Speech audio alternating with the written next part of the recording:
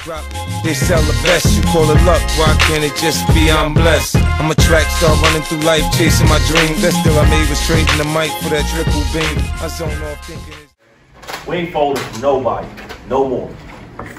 That's old grammar. Old grammar's dead. This is new grammar. Okay? We ain't folding on nobody.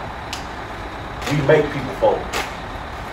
That's got to be our attitude going forward. We make them fold. I don't care what your season has been to this point. You are the aggressor. Period. Make them beat you. You have seen some of the top athletes in, on this planet. You've seen some of the top teams in this country. There's nobody in that building these next two days you to be nervous.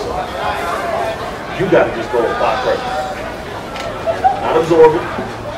Once again, absorb means you're going to false start. Absorb means you're going to step on the line too much. Absorb means you're going to get your best throws in in the warm-up instead of competition. Warm up, warm up, you know, apply, uh, absorbing pressure means you're going to be all erratic on, on the runway. That's absorbing the pressure. I want us to apply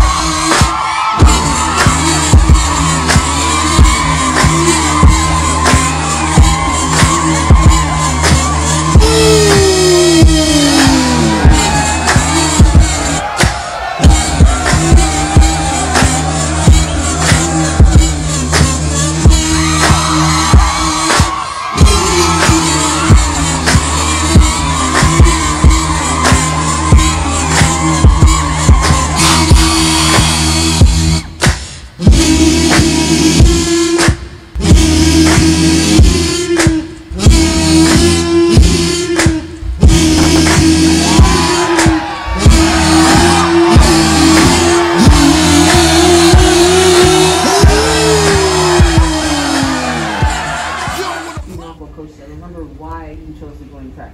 Like, especially even for the walk-ons, for everybody on scholarship, there are people that want our place. There are people who left, who quit the team with the team I came in here with.